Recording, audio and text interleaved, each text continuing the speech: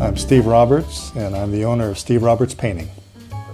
We are primarily a residential painting company. Probably 80% of our business is residential, 20% commercial.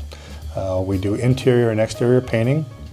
Uh, we do stucco repair, we do drywall repair, interior texturing, um, we do crown molding, wainscoting, baseboards, window casing, door casings, and fireplace mantles.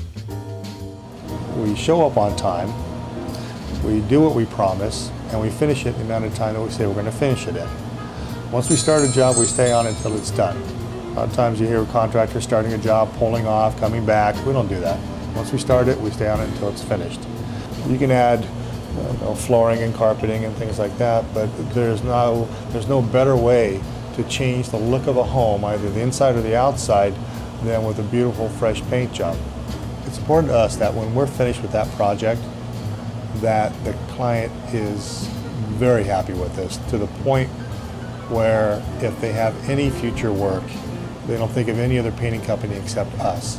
When they have a friend or family member that needs a painter, they can't wait to give them our name.